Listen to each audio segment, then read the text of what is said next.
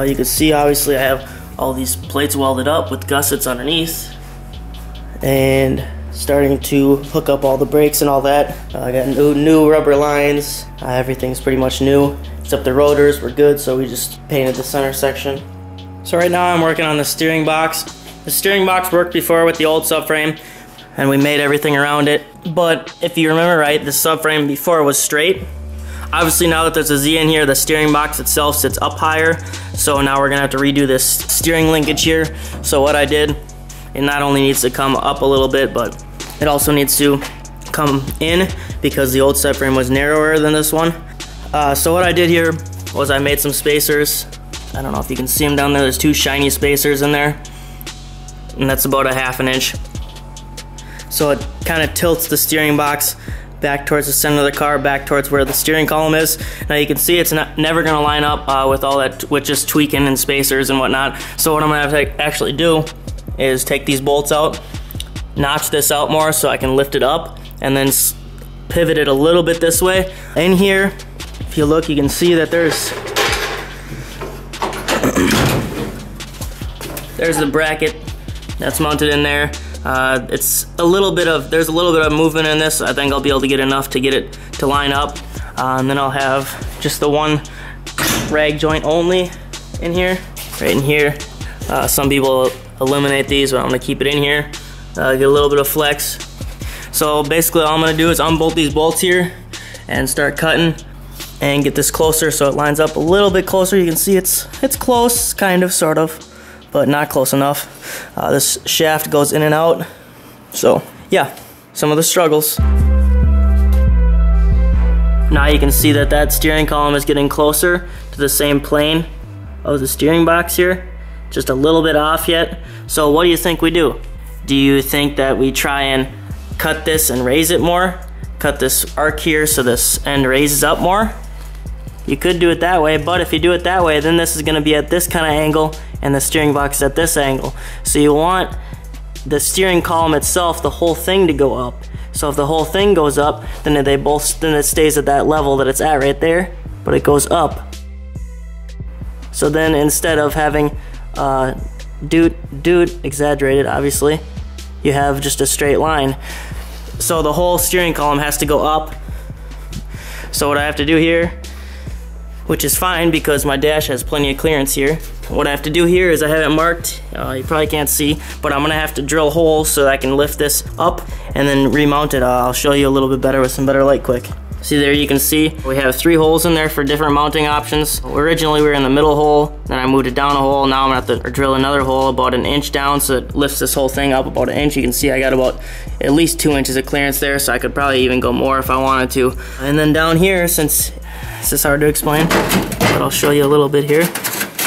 Now down here, originally there was uh, this bracket in here. You can see that firewall bracket that's welded to the steering column. Now originally this steering column was at more of an angle. It's at more of an angle downward. So where this mounting tab was, was actually further away from the firewall. So now that I'm pushing up on it and making this more straight, uh, the firewall is actually getting pushed out. So I have to actually push this, pull this whole steering column back so that it can arc or radius up. Because obviously as it gets straighter, you get less of a distance from the firewall. I guess that's kind of hard to understand, but it's basic geometry. So uh, I'm gonna have to actually offset these. You can see I wrote a quarter of an inch off center, okay?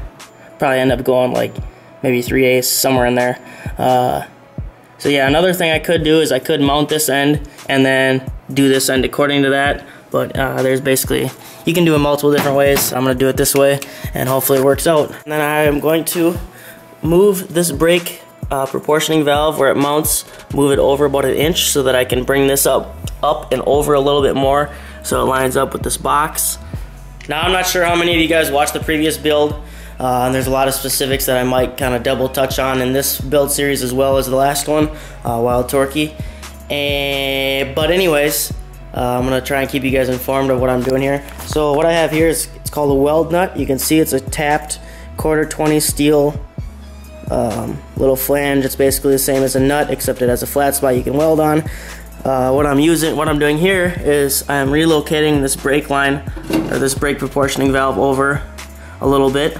So if you look in there, you can see there's previously we put weld nuts in there, but that isn't not gonna work where it's at. So I had to put new weld nuts in here. So what I do obviously, they go on the inside, but just show you for demonstration purposes. You put that in there like that after deburring the hole.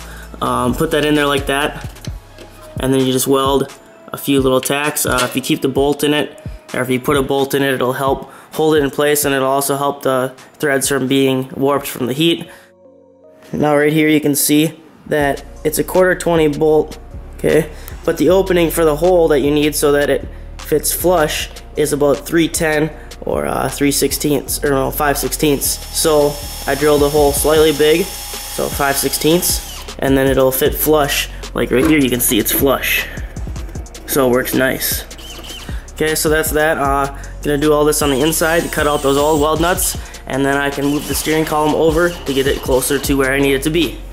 Now, I don't know about you guys, but I hate redoing work, but this is one of those cars where every time you change something, something else is changed by it. It was messed up in the 90s, so now I'm out here fixing it, and uh, yeah. So it's pain in my ass. But that's alright. It's a good experience, and I can show you guys kind of how basic street rod's built.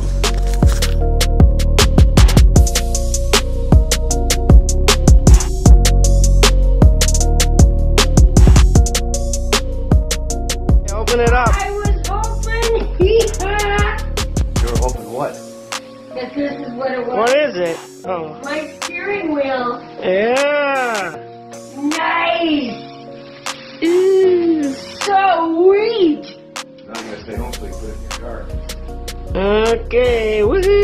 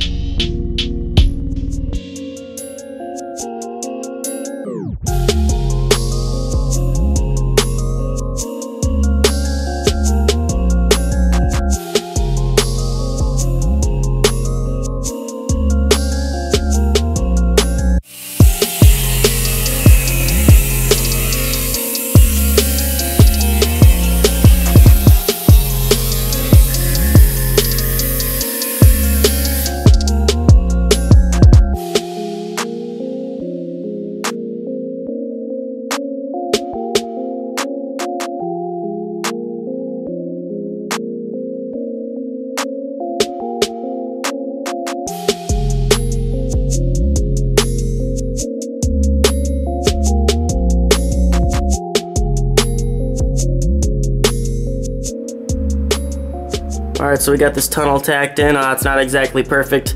We had a couple uh, failed attempts that kind of left us with a little bit uglier um, work than we'd like, but it'll look good once it's all covered up with carpet. Uh, I gotta take it and I'll stitch weld all the way around now. Uh, it's just all tacked together.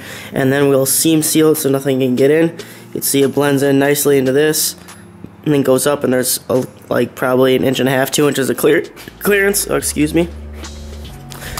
I'm sick, so don't mind the nasally voice. Uh, but down here working anyways.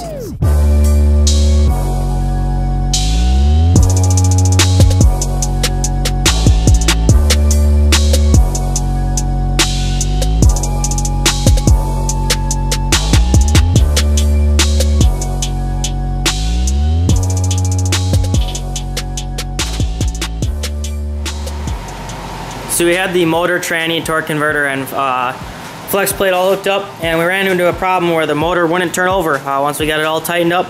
And I kind of figured it was the flex plate being a cheap flex plate, and it was. So right here you can see, I have this set on the floor.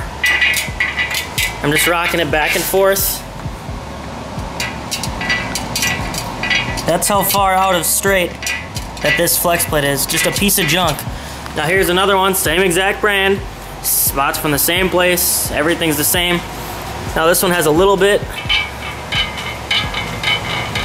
but not nearly as much as this one. You can see this was also grinding up on the starter housing, and overall it's just no good. So just a little tip for you guys, before you go through putting all your stuff together, before you go through painting everything, uh, check to see how uh, straight your flat flex plate is because it can make a world of a difference. And of course, if you got money, buy a better one. But uh, for this build, trying to keep it on a budget. So something like this, 25 bucks. Just gotta make sure you get a good one. So this one's okay. So I'm gonna go ahead and prime it up and uh, don't necessarily have to paint it, but I probably will. Just prime it up so it don't rust too bad and then throw it all back together.